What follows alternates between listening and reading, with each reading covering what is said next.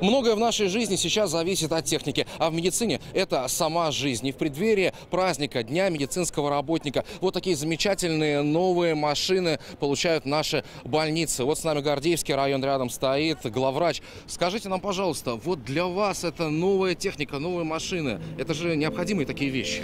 Это очень необходимая вещь. Последнюю технику, последние машины мы получали в 2007 году по нас проекту здоровья. Сейчас они уже старые. Причем комплектация этой машины настолько хороша, как говорится, это практически для реанимационных больных.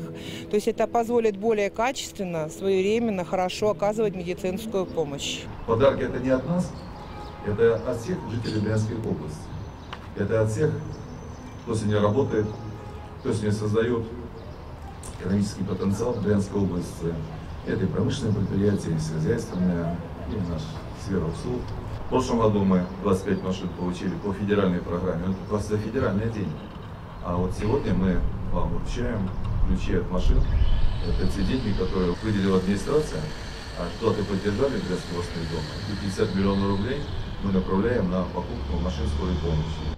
Новые машины скорой помощи достались и брянским больницам, и медучреждениям районов. Ключи торжественно вручает руководство области. За прошлый год по Брянской области поступило 400 тысяч вызовов в адрес скорой помощи. И эта техника для врачей более чем необходима. Необходима она и пациентам, ведь именно от нее подчас зависит наша жизнь. Андрей Мамошин, Максим Кузнецов. События. Брянск.